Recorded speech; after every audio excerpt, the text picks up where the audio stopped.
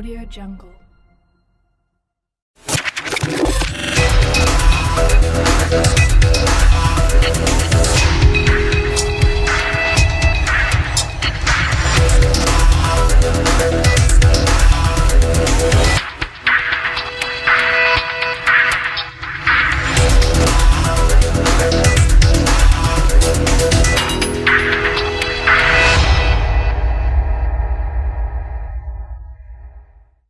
Hai Assalamualaikum dan selamat datang saya ucapkan kepada semua pendengar-pendengar dan penonton-penonton pada hari ini bersama dengan saya Aizat Syafiq Sakim dan juga rakan sekerja saya yang sangat saya cintai kami daripada bidang logistik dan pengurusan rantaian bekalan Politeknik Seberang Pride. Jadi untuk projek kali ini kami telah membina prototype rotatable hand jack yang mana ia adalah, adalah satu projek inovasi daripada hand jack yang sudah sedia ada.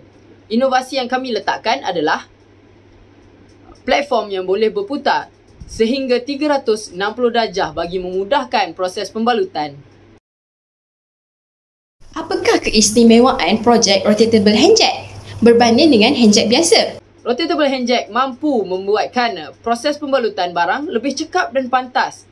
Kedua, meningkatkan keselamatan pekerja. Dan yang ketiga, menjimatkan masa dan tenaga. Mengapakah projek rotatable hand jack diwujudkan? Rotatable handjack diwujudkan bagi mengenal pasti kelemahan proses pembalutan barang, meningkatkan tahap kecekapan proses pembalutan barang serta mengurangkan kemalangan dan kecederaan semasa proses pembalutan barang. Dari mana datangnya idea projek rotatable handjack? Ianya datang daripada pengalaman kami sendiri bekerja di syarikat PKT Logistik Sendirian Berhad. Jadi apakah keaslian yang ada pada projek rotatable hand jack ya? Platform yang mampu berpusing 360 darjah.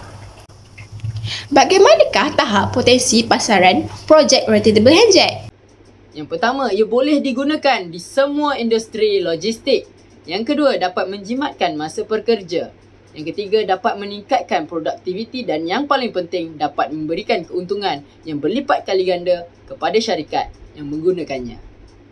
Jadi sebelum kita tamatkan video kita pada kali ini, saya Aizat Syafiq Sakim dengan rakan sekerja saya Nur Sarah Jasmine, Siti Nur Hidayah, Muhammad Ismawadi dan juga Kirtana telah sediakan satu video khas iaitu video tutorial penggunaan rotatable hand jack. Enjoy!